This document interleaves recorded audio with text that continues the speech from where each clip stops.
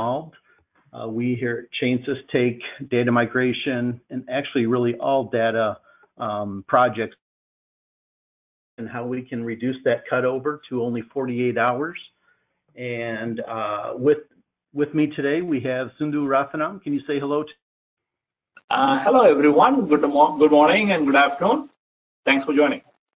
Go ahead, Derek. All right, so we're going to go through this at a rapid pace, 30 minutes. There's going to be a lot of time. We will send you uh, more information uh, to get you caught up, and by all means, you can type in questions as we go through. Uh, we'd be happy to answer those today, or if we don't have time today, we will definitely follow up with you with uh, and who we are and, and how we've gotten to this point where we can uh, make these kind of claims and, and do this kind of work. First, we're a team of over 800 people uh, worldwide with our Center of Excellence in Chennai. Uh, in, in today's environment, that's almost a requirement that you have to know the ins and outs of all these different things and systems and the capabilities to do all these things. So first we have to meet the business decision-making process to make it smooth uh, and the transition to go uh, best case scenario standards and metrics uh, to meet your requirements of how clean or and the requirements between source and target that can include your customizations and business rules. We have uh, the APIs and many different connections to make that happen. So the right data goes to the right place part of our get clean, stay clean uh, model.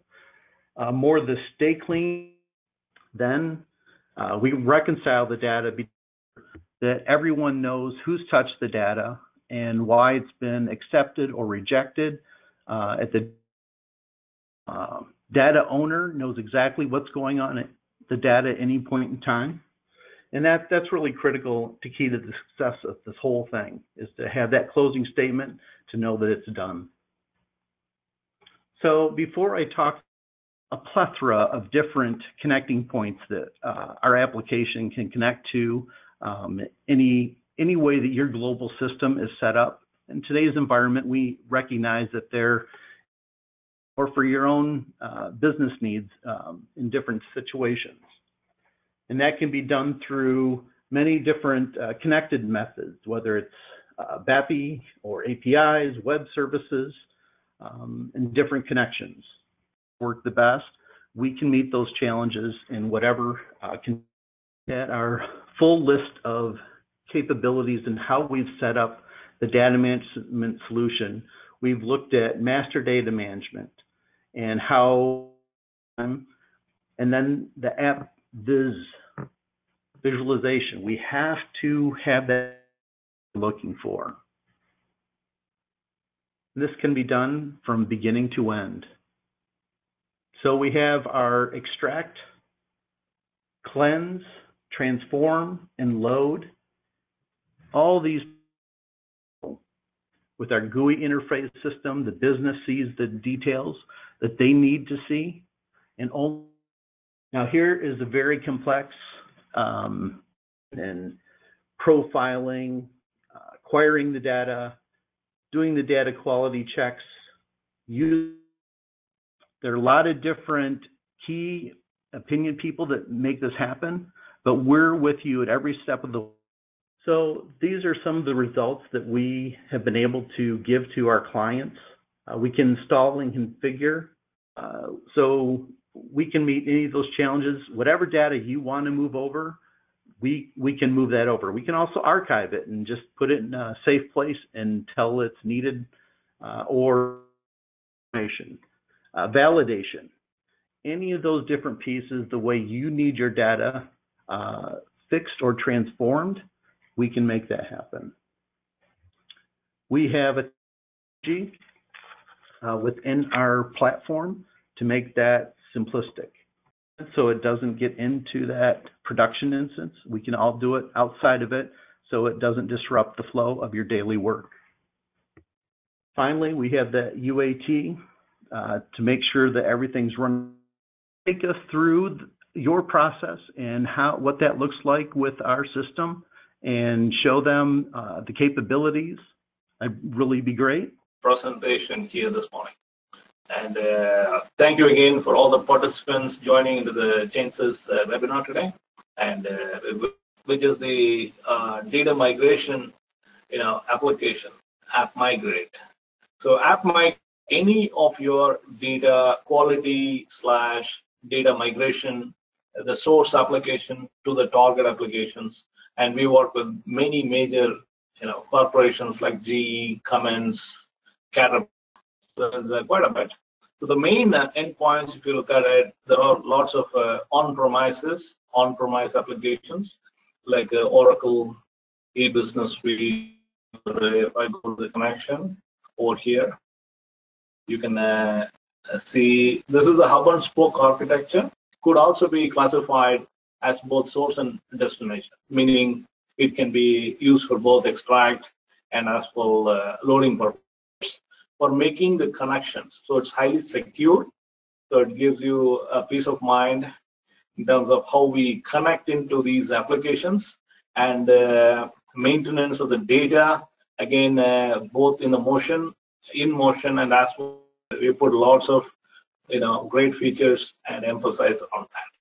Okay, and again, uh, the product which you're seeing is all SAP certified and all who was on the Salesforce as well and many other, all the other endpoints, we look at cloud applications, right? A lot of uh, transition, like Microsoft is catching up quite a bit with their uh, dynamics, uh, you know, both not just on the CRM, but also on the whole enterprise, you know, so we support that as well. And Salesforce always, uh, you know, producing great products and if you look at uh, the Oracle's uh, Fusion application, so this is uh, rated on the top. If you have noted on the cloud ERP, the Oracle's cloud ERP as well. So we support uh, as of you know uh, endpoint goes. Uh, we have more than 50 plus endpoints which we support today, and then we have a little over 3,000 templates readily available for you to you know, quickly uh, take and use, right? So for your, uh, so if I look at, uh, let's take a look at some of the extraction uh, objective, how we can extract the data. A raw extraction out of uh, any of your, you know, uh, source environment.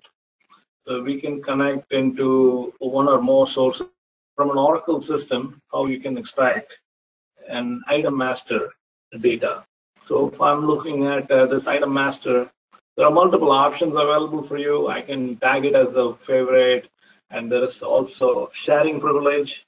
So if you're the owner of a particular object, if uh, you want to give certain privileges for other people in the team to operate, and uh, the role security is another great thing which I like about because uh, when we are working on enterprise wide with multiple people doing different activities, so you need a, a kind of a role-based security in place to take care of all the essential roles each one is going to play.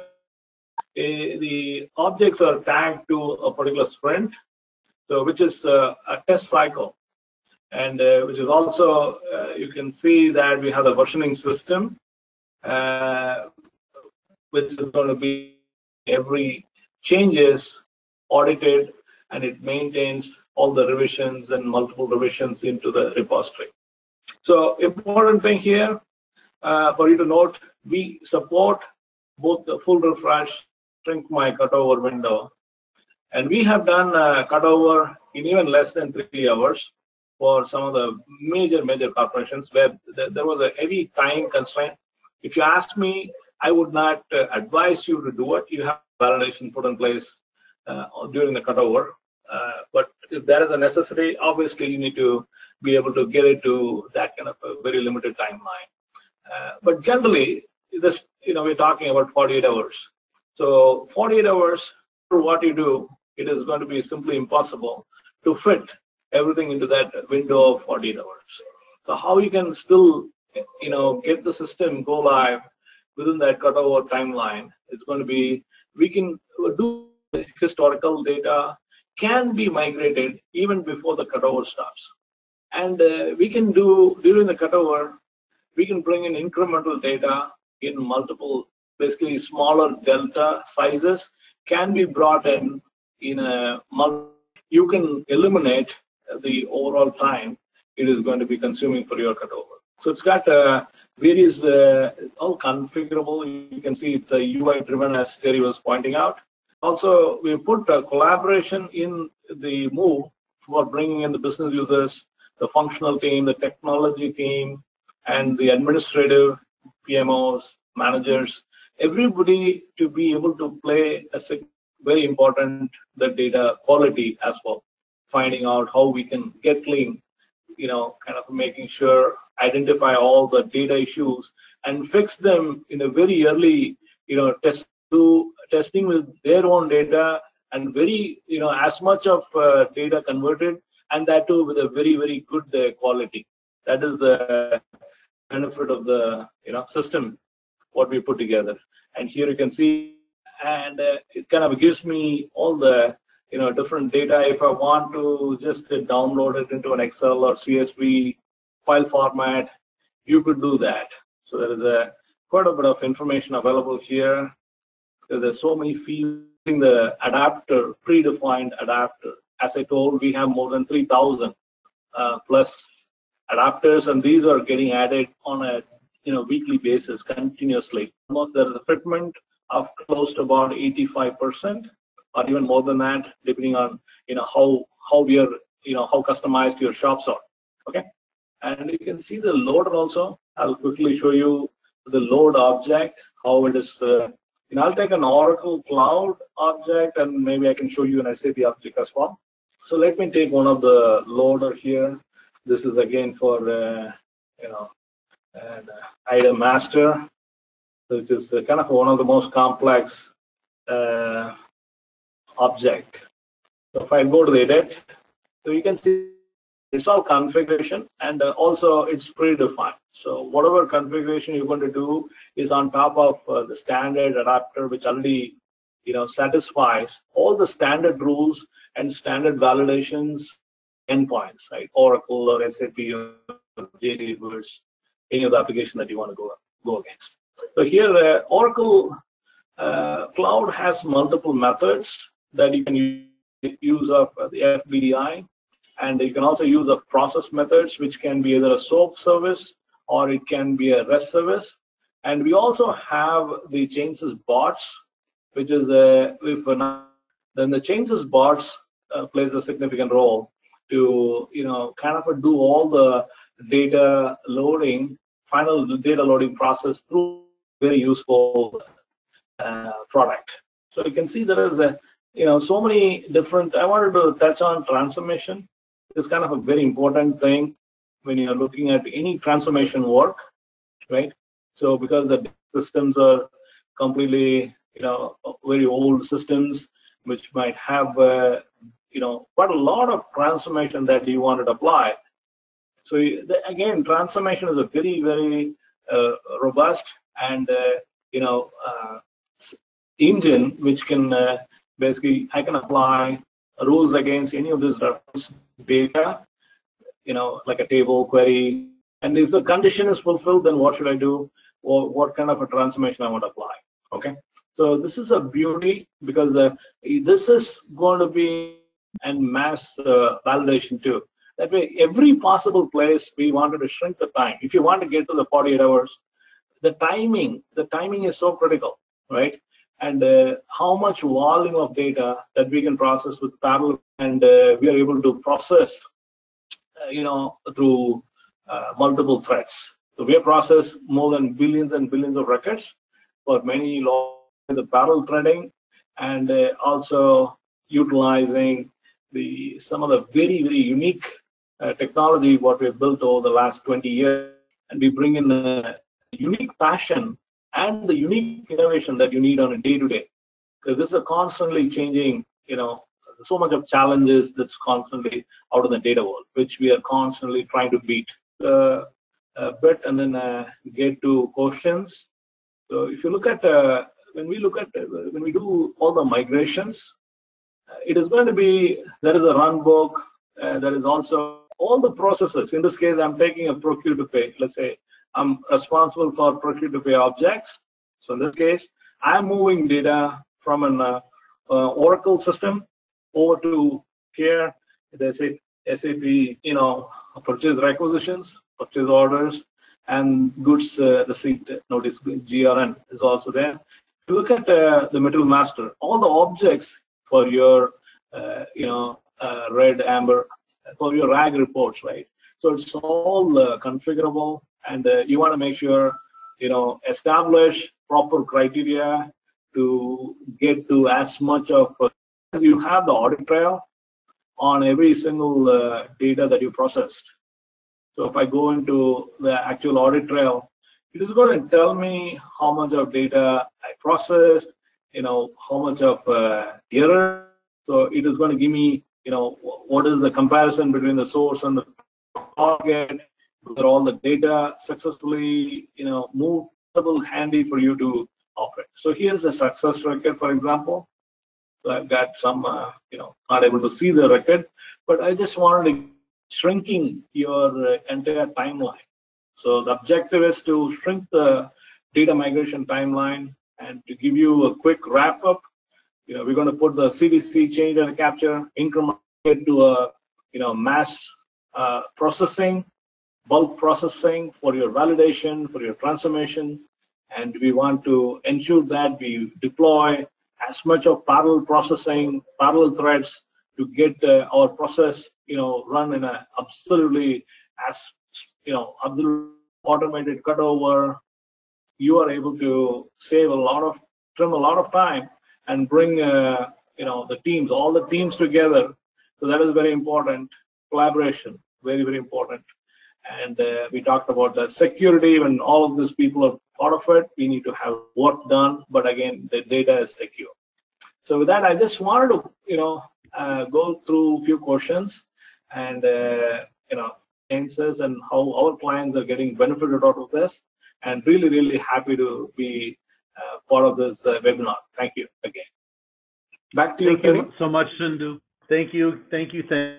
And I just wanted to uh, share our uh, with everyone. Uh, our platform has many different differentiators and value adds, uh, and we will connect you uh, with any of those different things. Uh, also wanted to share that we've won many awards with our partners and large clients that they have shown to be a clear differentiator in, in making those things work work uh, to the best um, possible.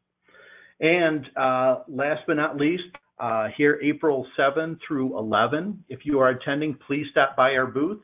We're also going to be at SAP Sapphire. Uh, May know what's going on uh, in, in, in your block, in your sphere of what you need to get your data clean and reduced and over cut over for a migration project, an M&A, whatever the, board.